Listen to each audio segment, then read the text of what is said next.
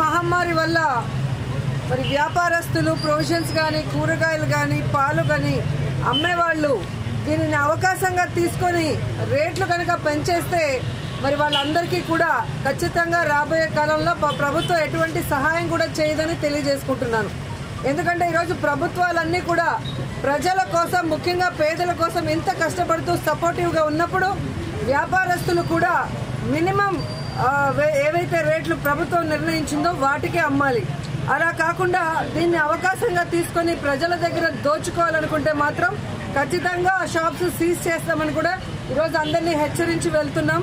And ఈరోజు urban ఏరియాలలో ఈ కరోనా కొంచెం వ్యాప్తి చెందే అవకాశం ఉంది. ఎందుకంటే ఈరోజు ఢిల్లీ నుంచి వచ్చిన వాళ్ళు కానీ బాంబే నుంచి వచ్చిన వాళ్ళు కానీ లేదా ఇతర రాష్ట్రాల నుంచి వచ్చిన వాళ్ళని మరి ఈరోజు హెల్త్ గ్రూప్స్గా మున్సిపాలిటీలో మూడు వార్డులకి ఒక హెల్త్ టీంను వేయటం జరిగింది.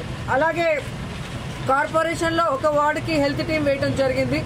సో ప్రతి హౌస్ను కూడా ని- నిశితంగా పరిశీలించి ఏ చిన్న అనుమానం వచ్చినా కూడా వెంటనే వాళ్ళని హాస్పిటల్కి తీసుకెళ్ళి ఐసోలేషన్లో పెట్టి మరి వాళ్ళందరినీ కూడా జాగ్రత్తగా చూసుకునే అవకాశాన్ని ఈరోజు ప్రభుత్వం కల్పించడం జరిగింది.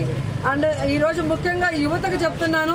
అలాగే వైఎస్ఆర్ కాంగ్రెస్ పార్టీ సైనికులందరికీ కూడా పిలుపునిస్తున్నాను.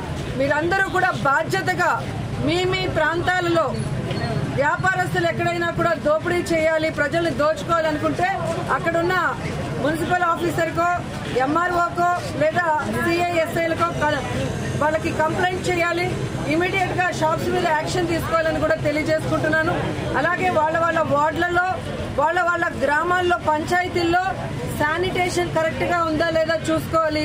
బ్లీచింగ్ పౌడర్ అంతా కూడా చల్లి ఆ ఊర్లో కరోనా వ్యాప్తి చెందకుండా చూసుకోవాలి. అదే విధంగా ఇంట్లో నుంచి బయటకు వచ్చే వాళ్ళకి మాస్కులు వేసుకోవాలి. మాస్క్ లేకపోతే దానివల్ల జరిగే అన్యాయం ఏంటి? దానివల్ల జరిగే మరి ఈ కరోనా వ్యాప్తి ఎంత భయంకరంగా ఉంటుందో కూడా మనం అందరం కూడా తెలియజేసుకోవాలి. మనం మన కుటుంబాన్ని ప్రేమిస్తున్నాము కాపాడుకోవాలన్న ఆలోచన ఉంటే ప్రతి ఒక్కరూ కూడా మాస్క్ వేసుకోవాలి. అప్పుడే మీ కుటుంబంతో పాటు మీరు సమాజాన్ని కూడా కాపాడిన వాళ్ళు అవుతారు. నాకు రాలే రాలేదులే అనుకుంటే అది రావడానికి ఎంతో సేపు కూడా ఉండదు.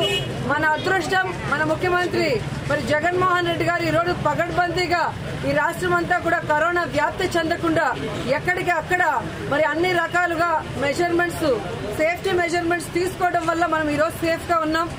ఇప్పటి నుంచి ఇంకా క్రూషియల్ టైం ఈ పద్నాలుగు రోజులు. సో ఈ పద్నాలుగు రోజులు మనం ఎంత జాగ్రత్తగా ఉంటామో భవిష్యత్తులో అంత హ్యాపీగా అంత మరి సేఫ్గా ఉండే అవకాశం కూడా ఉంటుందని అందరికీ తెలియజేసుకుంటాను. ఈ పద్నాలుగు రోజులు అనేది మనందరికీ ఎగ్జామ్ పీరియడ్. సో ఇన్ని రోజులు ఉన్నది ఒక లెక్క అయితే ఈ పద్నాలుగు రోజులు మీరు ఎంత సేఫ్టీగా ఉన్నారనేదే ముఖ్యం. సో ప్రతి ఒక్కరూ మాస్క్ వేసుకొని అలాగే వీలైనన్ని సార్లు మరి చేతులు కడుక్కుంటూ ఉండాలి. షేక్ హ్యాండ్స్ ఎవరికి ఇవ్వకూడదు. అలాగే చిన్న పిల్లల్ని ఎత్తుకొని ముద్దాడటం ఇవన్నీ కూడా ఈ పద్నాలుగు రోజులు చేయకుండా అందరూ కూడా సామాజిక దూరాన్ని పాటించాలని కూడా కోరుకుంటూ మరోసారి ఈరోజు ఈ యొక్క కరోనా వ్యాప్తి చెందకుండా రాత్రింబగళ్ళు పనిచేస్తున్న పోలీస్ వ్యవస్థకి అలాగే వైద్య బృందాలకి అలాగే మున్సిపల్ సిబ్బందికి ముఖ్యంగా ఈరోజు వాలంటీర్స్ కానీ సచివాలయంలో పనిచేసే ప్రతి ఒక్కరితో పాటు జర్నలిస్ట్ అందరికీ కూడా నా హృదయపూర్వకంగా కృతజ్ఞతలు తెలియజేసుకుంటున్నాను. ప్రతి ఒక్కరు కూడా బాధ్యతగా మీరెక్కడైనా కూడా ఇలా మాస్క్ లేకపోతే మీరే నిలదీసి వారిని మాస్క్ కట్టుకునే విధంగా చేసుకోండి. అలాగే మీ మీ గ్రామాల్లో లేదా మీ మీ ఇళ్ళ పక్కన మీరందరూ కూడా పరిశుభ్రంగా ఉండేలాగా చూసుకోండి. ఏ అవసరం ఉన్నా కూడా మేము ఇక్కడే ఉంటాం. ఫోన్ నెంబర్ ఉంది. ఫోన్ చేయండి. లేదా కన్సర్న్ సిఐ కానీ మున్సిపల్ ఆఫీసర్ కానీ ఎంఆర్ఓ కానీ ఎంపీడీఓ కానీ ఇన్ఫర్మేషన్ ఇస్తే ఇమీడియట్గా మేము వచ్చి అది సాల్వ్ చేస్తామని కూడా ఈ సందర్భంగా తెలియజేసుకుంటున్నాం.